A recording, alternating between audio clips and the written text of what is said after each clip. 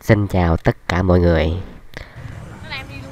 À, Hôm nay mình xin giới thiệu với mọi người về cái ờ, thú chơi thả diều về đêm ở Cà Đẩy Đây là những con diều được các bạn trẻ ở đây gắn cái dải đèn led lên và thả về đêm lung linh trên bầu trời.